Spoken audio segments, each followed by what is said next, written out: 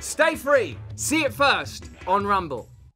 Gareth, we've got a wonderful guest joining us now. I'm very excited. Yep. Honoured, in fact, Certainly. to introduce uh, Satish Kumar, who, as well as being a, uh, a former monk, I wonder how you get out of the monk game. Is it like being a former gangster?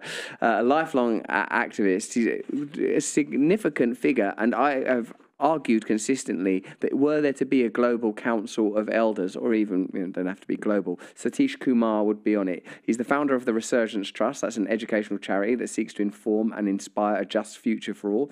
He's the editor of the charity's change-making magazine, Resurgence and Ecologist. And uh, Satish Kumar entered first into public consciousness in 1962 when he walked 8,000 miles, a global pilgrimage over two years. He started at Mahatma Gandhi's grave and walked to Moscow, Paris, London, and the United States, where he met Martin Luther King Jr. And I'm very proud to call him a teacher. Satish, thank you very much for joining us on Stay Free today. Thank you for having me, uh, Russell.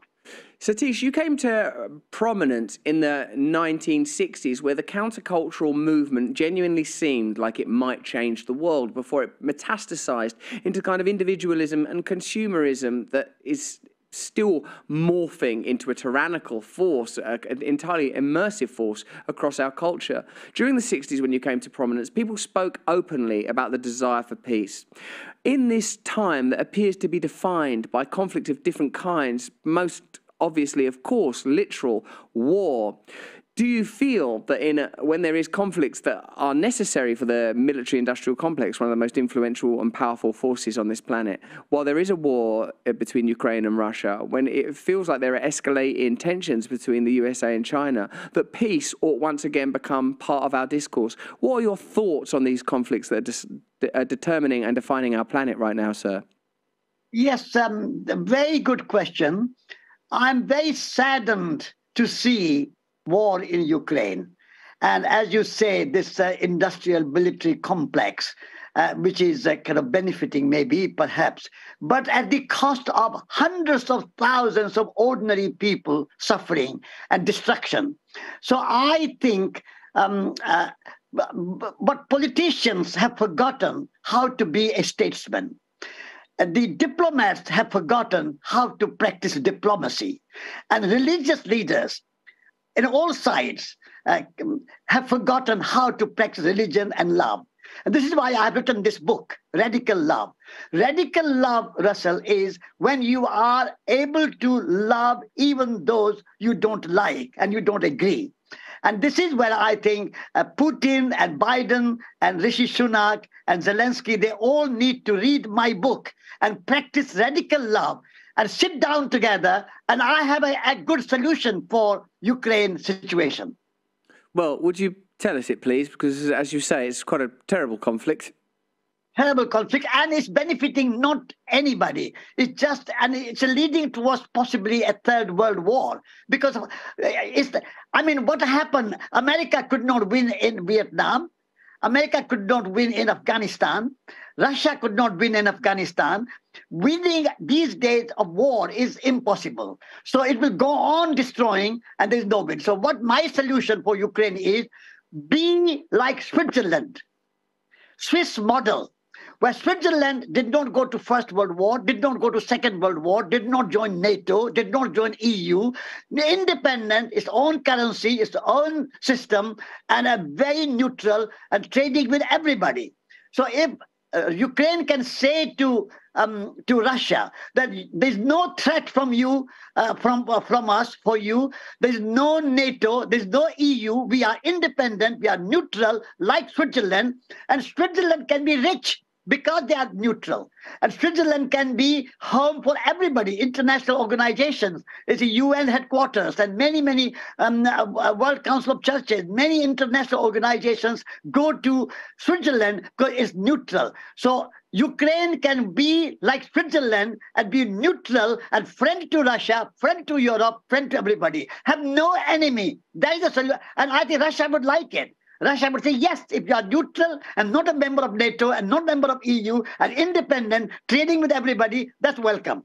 It seems that eventually a solution of that type will have to be reached. Currently, what appears to be driving the conflict is the set of interests that are most obviously going to benefit from the reconstruction of Ukraine. Some of our investigations uh, and investigations of others, which we have curated uh, uh, as part of our team, suggest that and it's publicly understood that BlackRock will be participating in the reconstruction of Ukraine, that Ukraine want to be 100% digital after this war, and, and, and, assurances that Ukraine become could become a place of neutrality surely would make a difference, as well as providing, if they were anything like Switzerland, another potential venue for WEF to host their globalist uh, uh, events. The problem, Satish, is that it feels like the in reality the conflict between uh, Ukraine and Russia is about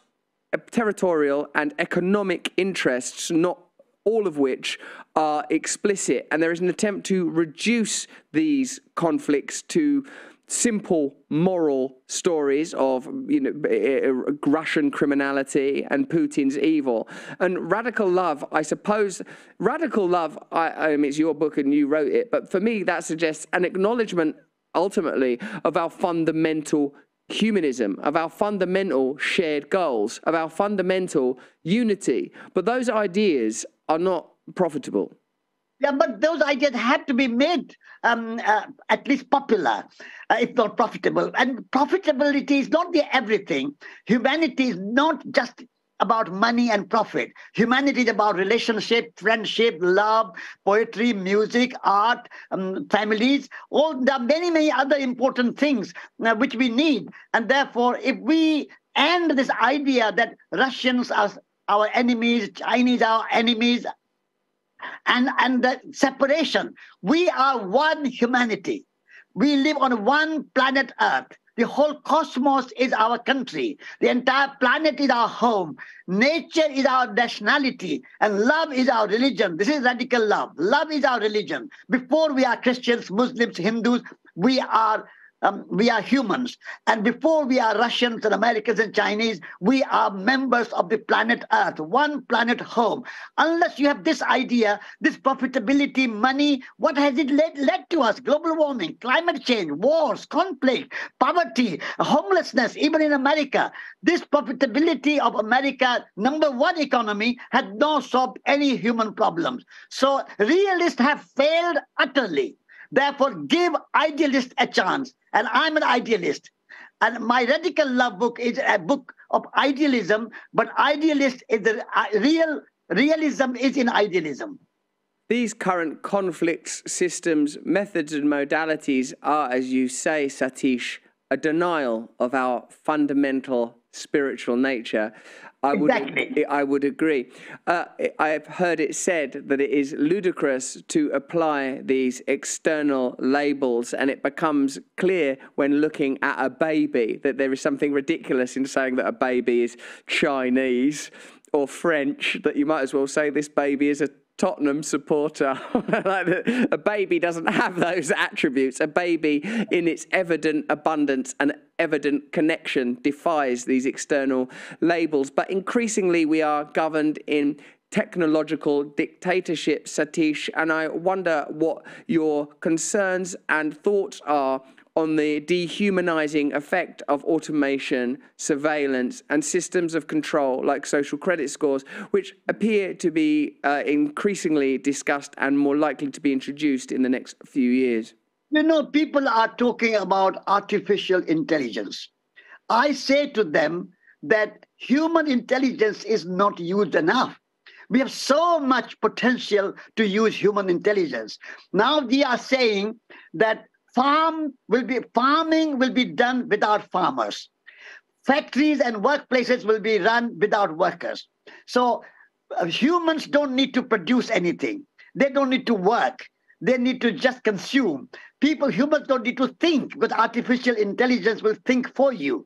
So production will be made by factories. Thinking will be done by uh, by um, artificial intelligence what is the place of humans humans are irrelevant only place of humans is to consume so we are no longer thinkers or activists makers or artists. We are just consumers. And this is a nightmare, Russell. This is a nightmare.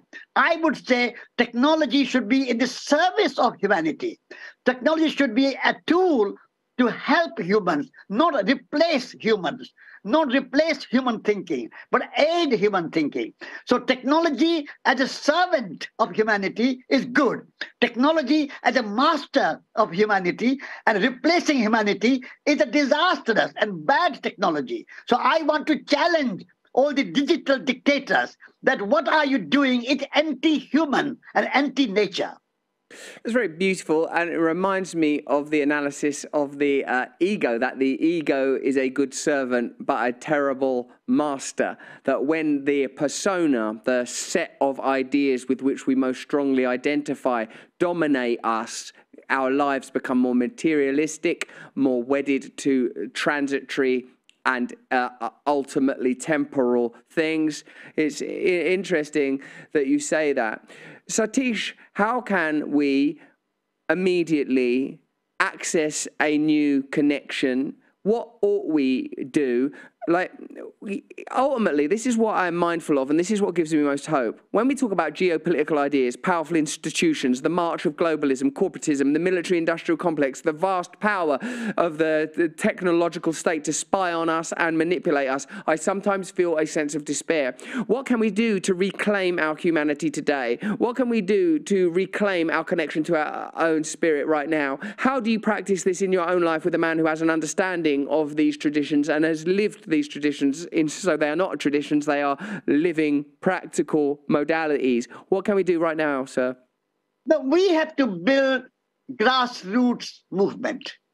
And, and you are doing good work in that. We have to say that ignore these kind of big centralized and technological uh, big organizations. Small is beautiful. Small and elegant and simple is beautiful. So we should, at the grassroots level, people should come together and say, we are going to live a human life technology as a servant, but human life. And we are going to take a Hippocratic oath. The Hippocratic oath, like doctors take, do no harm.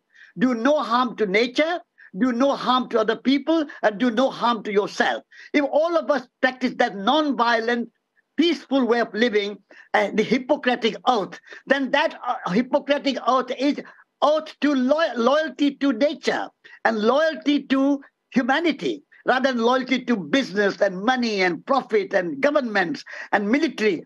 Our loyalty has to shift at a grassroots level. So let us create a movement of the Hippocratic oath that everyone, you are businessman or woman or, or a, a, a politician or economist or a scientist, whoever you are, practice non-violence, practice the Hippocratic oath, doing no harm. That is radical love. It's very hard, though, Satish, to live like that. It's very hard to live only in love. But there all is so great much things are hard, Russell. Climbing Mount Everest is hard. Going around the world for two and a half years. I went walking without any money for two and a half years through 15 countries and and and and uh, 8,000 miles. That was hard, but that was a real experience. So let's not worry about hardness. What is good, we must practice even if it is hard. And, and, and we will overcome our difficulties. For Martin Luther King, who I met, went to prison for 29 times in his 10 years activism. Nelson Mandela was in jail for 27 years. Mahatma Gandhi was in prison for 12 years. So they were hardworking, uh, great visionaries. So we don't need to worry about hardness and difficulties. We have to do what is the right thing to do, even though we have to sacrifice um, our some comfort. But in the interest of humanity and planet, we have to do build a grassroots movement been no good if Gandhi had said, this is too hard going on this salt march. It would have been no good if Martin Luther King had said, I can't do this million man march, it's too difficult. If Malcolm X had said, standing up to the dominator culture is too difficult. If Nelson Mandela had said, I can't stay in this prison, it's too hard. I'll do whatever you want. What do I need to say? You're right. We like this is, I suppose, one of the challenges when you lose your connection to spirituality, which involves things like sacrifice, discipline, exactly. focus, when everything becomes tethered to the external, when all of our personal validation, verification is externally sourced, we don't have the cojones no more. We don't have the spiritual stones, the minerals to sort of go, exactly. right, I'm going to suffer now. I'm ready to suffer. I don't like suffering, Satish. It's difficult, but I will do it now that you have commanded it on our show. I think suffering will make us strong and resilient. If you take a tree, a tree stands in the winter, in the snow, in the storm, out in the field as a stronger. If you keep a tree in a greenhouse uh, or, or in a conservatory all the time, the tree will not be strong. So resilience comes when we suffer and we make sacrifice. And I have suffered and made sacrifice in my life, and I am uh, much more strong for that. So I would not worry about hardship. What is the right thing to do, we should do it. And radical love, it's all about that. We, when we practice radical love, then we are prepared to sacrifice because we depend on each other. We love not, we become lovers. We don't want to have lovers, but we become lovers. And, we are, and loving is hard. Loving you want hard. to be loved. You want somebody to love you, but you don't want to love uh, loving is hard. Because in loving you have to sacrifice your ego. So we have to move from ego to eco change one one letter from g to c. Ego to eco and then you will become a lover. And that's a radical love. I love you satish kumar you're a very beautiful man. Thank you for your time. Satish's book, Radical Love, is available now. There's a link in the description so you can get it. Satish, I want you to come to Community this year in the middle of July, our live festival with Wim Hof, with Vandana Shiva, so people can come together and practice and live these ideas. If you want to join me, I'll be there. You should see me. I'm around all everyone like Willy Wonka. I'm on it. Come there. Satish, yeah. will you come? Will you be free, do you think, to come and join us? Yes, I would love to come. Yes, yes. I will look in my diary, but I think I am free and I would love to come. That sounds like an excuse. Let us have a change one letter of the word diary and it's dairy. And down the dairy, you've got to do what I say. Okay, okay. I will do what you say. I love you, Russell. And this is a radical love. I radical love you too. Satish yeah. Kumar. And, and the radical love is to love without expectations, oh, right. without criticism, without uh, kind of complaining, without expectation. Trying Drop to get out to community. Drop all expectations and love, and then through participation, you change Ukraine and wars and all these things, confrontation. You can change that by love. Putin has to be loved. Only through love you can transform Putin. Only through love you can transform Biden. No, you're right. I know you're right. I know that if Gandhi, Malcolm X, Mandela, if they were around, they'd be like, "We're going there. we will sort it out. We're, we're going to cuddle that. We'll cuddle some sense into him. We'll cuddle some sense into a lot of them." One of his own old phones. Yeah, call him up on one of his old little Putin yellow phones. Satish, thank you so much for joining us. Thank you for your time. We will speak again soon. I'd my pleasure. My pleasure. Thank you for having me. Thank you, sir. I love you. Thank you very much. Thank you. Satish Kumar there, potential guest for Community, our annual festival where we come together to realise these things. I yeah, I think the bit was? where he said, "When you love people, you don't have any expectations." I think what he was saying is, "I ain't coming." I'm not definitely coming. This you can't tie me down. So trying to make Kumar, the interview go well. yeah, I just don't want a bad vibe in the interview. It was lovely though, wasn't it? Really nice. Stay free. See it first on Rumble.